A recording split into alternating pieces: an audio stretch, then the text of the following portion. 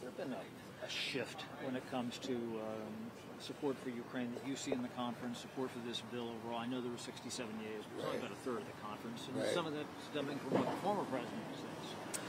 No, I think it has more to do for many of us with positioning um, the aid package in a way that's uh, that's probably more more responsible, perhaps more acceptable to more of our base.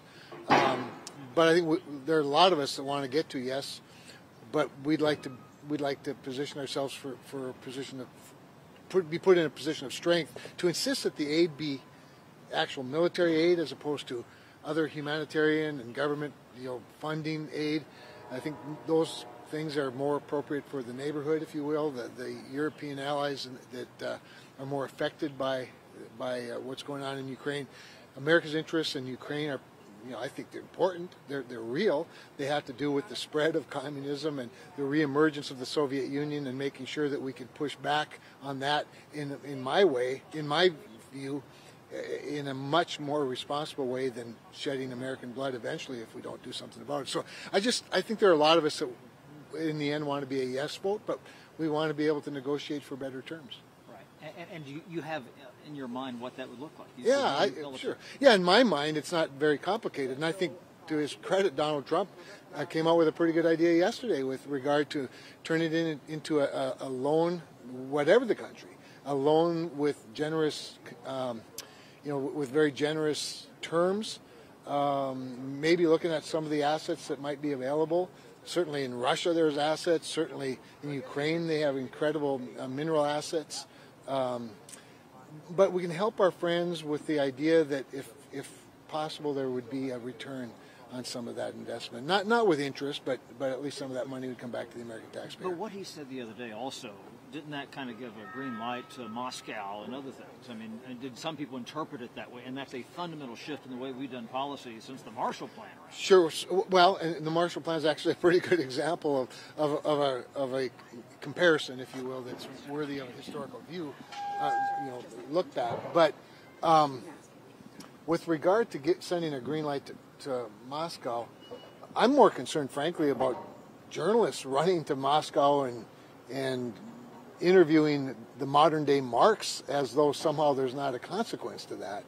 So th- that's a little bit, I think, of the dilemma. I think we have within the party, to some degree, a, a generational difference that you know, I, I, forget that I'm not that young anymore and that Ronald Reagan was the first president I could vote for, not the most recent one. Um, but nonetheless, I still think there's there's some of that that needs to be articulated. Why, why, why did Reagan borrow money to win the Cold War? I mean, he warned us in, in uh, Fargo, North Dakota in 1962. I wasn't there. I was one years old at the time.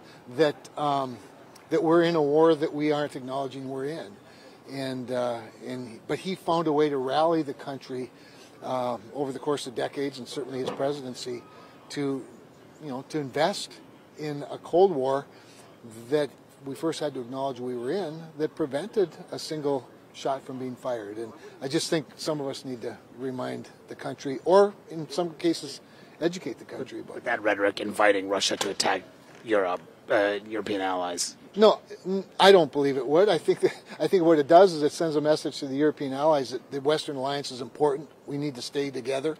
Now, Donald Trump, to his credit, I mean, let, let me put it this way: the only president that has done more to bring NATO countries into compliance with their, you know, their obligations to NATO itself than Donald Trump was Vladimir Putin. I mean, I just think we haven't, we have to get our act together and, and have an honest discussion about it. Do you think that kind of rhetoric is helpful?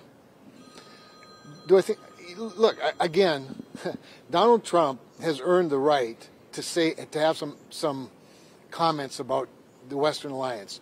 But to his credit, he was the one that brought a lot of them along. They, by his discipline, by his his you know projection of strength, um, by put, laying down some conditions, he brought some some NATO countries further along in terms of their own contribution to their own defense.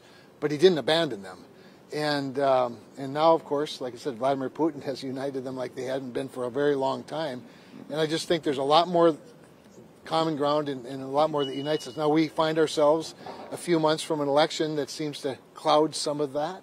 I get that.